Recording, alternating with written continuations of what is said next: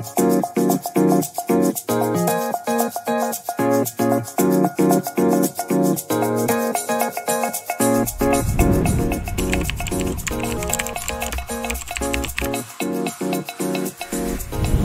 alaykum bekzodbek xush kelibsiz.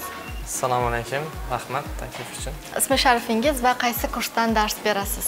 Man rahimov bekzod python kursi bo'yicha data o'quv markazida dars beraman pythonni veb dasturlasha asoslangan texnologiyasi ya'ni django bo'yicha o'quvchilarga bilim berib kelaman.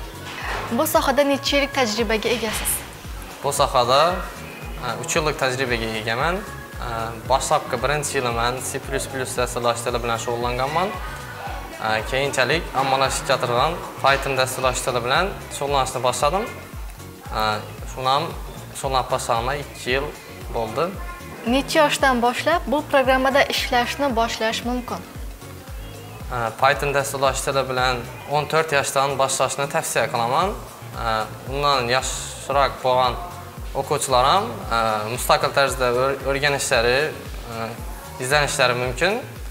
Tushunmovchiliklar bo'lsa o'qituvchilardan yordam so'rab o'zi uchun o'rganishlari mumkin. Data o'quv markazida tashkillashtirilgan foundation kurslarinda o'qishni tavsiya beraman keyinchalik boshqa bir dasturlashtirilganni o'rganishda kamroq qiyinchiliklar duch kelishi duch kelishine yordam beradi foundation kurslarida o'qish Xo'p.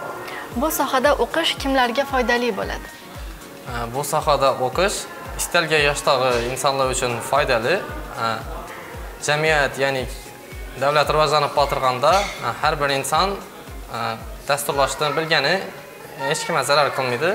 U kelajakda har xil muammolarni tezroq yechish uchun bizlarga yordam berib, yordam berishi mumkin. Ya'ni oldimizda har xil chiqadigan to'siqlarni yengib o'tishimizni asqatishi mumkin dasturlashni bilish bu sohada oyiga qancha daromad olish mumkin bu sohada oyiga minimum 300-400 dollar ya'ni 3 million 4 milliongacha boshlang'ich daromad topish mumkin ya'ni yana o'rganish va izlanishlar davomida maoshlar darajasi har doim oshib boradi. Bu sohani o'rganish uchun oldindan qanday bilim yoki salohiyat talab qilinadi? Endi qo'shimcha bilimlarga keladigan bo'lsak e, insonni fikrlash doirasi kengroq bo'lgani yaxshi dasturlash sohasina kirib kelgan vaqti. E, chunki biza dasturlash sohasida e, har xil o'ylanishlar ya'ni fikrlash davomida dasturlarimizni o'zgartirib mukammallashtirib boramiz. Shuning uchun fikrlash doirasi kerak bo'ladi.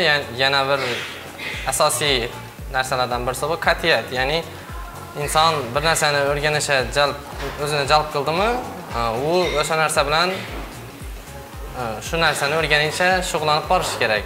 Ya'ni o'zida qat'iyat bo'lishi kerak. Shu narsani o'rganib o'rganincha davom etib asosiy kichik bir maqsadga erishguncha davom qilib borishi kerak sabrli bo'lishi kerak. Shu paytgacha bu sohani qancha odamga o'rgatdingiz va qanchasi o'z ishida muvaffaqiyatga erishdi? Shu paytgacha man 20 dan ortiq o'quvchilar bilan ishlaganman. Hozirda ham ishlab kelmoqdaman. Bulardan ko'pchiligi shu realniy proyektlar ya'ni veb dasturlash asoslangan bo'lgandan keyin veb saytlar yaratish bilan hozir yaxshi natijalarga erishib yuribdilar kursni o'rgatishdan maqsadingiz? Kursni o'rgatishdan maqsadim shu bizani yoshlar o'zimni bilimimni berish va ularni ham veb saytlar ya'ni yaratishini yordam berish shu narsani o'rgatish orqali kelajakdagi ishlarini yo'l yo'riq ko'rsatib ularga yordam berish maqsadim. Kursda o'qib chiqqanlarning eng ko'p qiladigan xatosi kursda o'qib chiqqanlarni eng ko'p qiladigan xatosi e, kurs tugagandan keyin mustaqil ravishda shug'ullanmaslik deb bilaman. Chunki kurs vaqtida shug'ullanish bilan inson o'zi kutgan natijalarga erishib bilmasligi mumkin. Shuning uchun ham e, dasturchilarni eng asosiy qurollaridan biri bu mustaqil shug'ullanish deyiladi. Ya'ni self study e, mustaqil o'rganish hisoblanadi. Har doim inson bir narsa o'rganib boshladimi unda har doim to'siqlar xatoliklar bo'lishi mumkin. Xatoliklardan qo'rqmaslik kerak. Э, Xatolik nodan yuzaga kelib bilish kerak va shu xatoni э, internetdan ya'ni qidirishni bilish kerak search qilishni. Chunki bu sohaga sendan bizadan burun kirib kelgan insonlar ham shu xatolarga duch kelgan va shunday xatolarga duch kelmasligi uchun yoshlarga yordam berish uchun nelardadir maqolalar yozib chiqarib yordam berib qo'ygan bo'ladilar. Hozirgi kunimizdan 5 yildan keyin bu sohani rivojlanishi qanaqa bo'ladi deb o'ylaysiz? Hozir man o'rganib boshlaganim vaqtimdagi python darajasi bilan hozirgi darajada o'ta katta farq bor.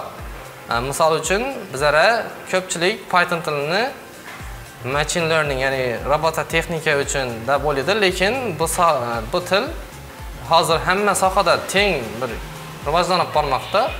O'zini o'rni bor deyapman har bir sohada python dasturlashni endi 5 yildan keyin keladigan bo'lsak uni nechta tasavvur etishni bilmayman lekin aniq bilamanki top darajadagi tillardan biri hisob bo'lib turadi. Kursda o'qib chiqqanlarni qanday to'siqlar kutadi? Asosiy to'siqlardan birisi ishga kirish muammosi bo'lishi mumkin lekin bu holatda normal qarash kerak. Duch keladigan yana bir to'siqlardan birisi bu ishga kirib olgandan keyin ko'pchilik narsalarga tushunmasligi mumkin. Dastlab lekin bu narsani e, e, asosiysi tushunib e, ustozlardan ko'mak yordamida o'rganib olish kerak. Datalarga atalgan yoshlarga yana bir maslahatim ular meni bitirib ketgandan keyin ishga kirish kirib olgandan keyin shu kompaniyaga sodiq bo'lib ishlashlarini maslahat beraman. Chunki bir ishni sizni yuksalishingiz uchun yordam bergan kompaniya hech qachon tashlab ketmaslik kerak. Va ustozlarni ruxsati bilan keyingi bir kompaniyalarga ishga kirishlaringiz mumkin.